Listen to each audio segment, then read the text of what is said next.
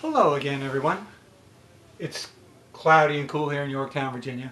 Not that cool, but I just felt like wearing my cool new jacket with my Ocean Pacific shirt, which I didn't bother to iron. But anyway, yesterday we had a fun question about the Grammy Awards, and I think a lot of you liked it because I got a couple of nice comments and a bunch of new subscribers, which never happens. Now I'm only about 100 million behind that Swedish guy.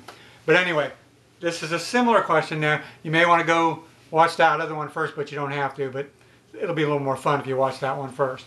But today's question is, of the five following music, musical acts, how many total Grammys did they win? Okay, now this does not include those Lifetime Grammy Awards, but this is just the individual Grammy Awards, okay?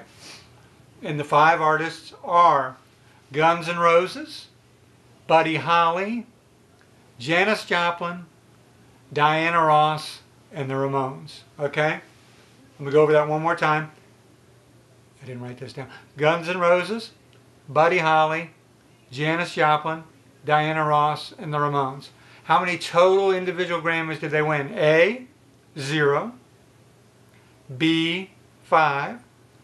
C, 10. D, 15. E20 or F25. Total individual Grammys.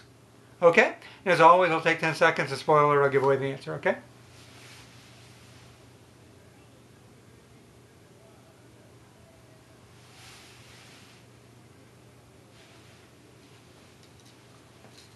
Okay? How many total Grammys did Guns N' Roses, Buddy Holly, Janis Joplin, Diana Ross, and the Ramones win? You know it.